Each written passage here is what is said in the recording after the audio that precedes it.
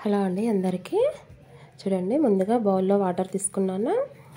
చూసారా బఠానీకాయ అందరికీ బఠానీలు తెలుసు కానీ ఇలా పచ్చికాయ తెలియదు కదా. నేనైతే పచ్చికాయ తీసుకున్నాను. ఇప్పుడైతే వాటర్లో వేసి కెమికల్ వాటిపైన ఉండే మురికి పోయేలాగా కడిగి వేరొక గిన్నెలో తీసి వేస్తాను. ఇప్పుడైతే ముందుగా వాటిని కొద్దిగా రాసినట్టు కడగాలండి. ఇప్పుడు అన్నీ తీసి వేరొక గిన్నెలో వేసుకుంటున్నాను. లావుగా ఉన్న వాళ్ళు సన్న కావాలంటే అప్పుడప్పుడు ఇలా బఠానీకాయ వేయించుకొని తింటే కూడా టైంపాస్కి చాలా బాగుంటుంది. అప్పుడప్పుడు ఇలా తినడానికి వేయించుకుంటే చాలా బాగుంటుందండి. సాల్ట్ వేసి వేయించాలి. చూసారా? ఇప్పుడైతే స్టవ్ పైన కడాయి పెట్టాను వేడవుతుంది. వేడి ఎక్కువగా అవసరం అండి బఠానీకాయకు. కొద్దిగా లేటుగా వేగుతాయండి బఠానీకాయ. పల్లీలాగా తొందరగా వేగాయి.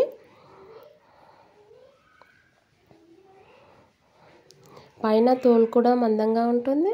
బఠానీ విత్తనాలు కూడా లావుగా ఉంటాయి కదా దొడ్డుగా. అందుకు తొందరగా వేగాయండి. వేయించడానికి కొద్దిగా ఎక్కువ టైమే తీసుకుంటుంది. పైనుండి ఇలా సాల్ట్ వేసుకొని ఒక ఫైవ్ మినిట్స్ మూత పెట్టేస్తాను. ఇలా మూత పెట్టిన తర్వాత ఫైవ్ మినిట్స్కి మూత తీయాలి. అవి ఏమవుతాయంటే ఉడికినట్టు అవుతాయండి ఆవిరికి.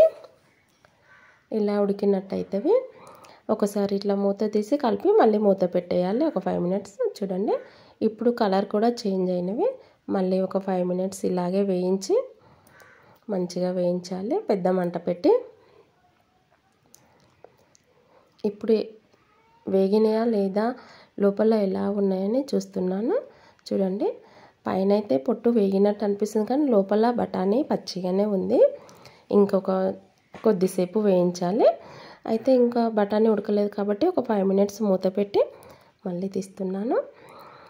ఇప్పుడు పైనుండి సాల్ట్ వేసుకొని మళ్ళీ ఒక ఫైవ్ మినిట్స్ వరకు మంచిగా వేయించాలి.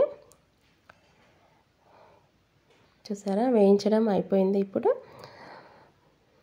వేరొక ప్లేట్లో వేసుకుందాము చల్లారుతవి.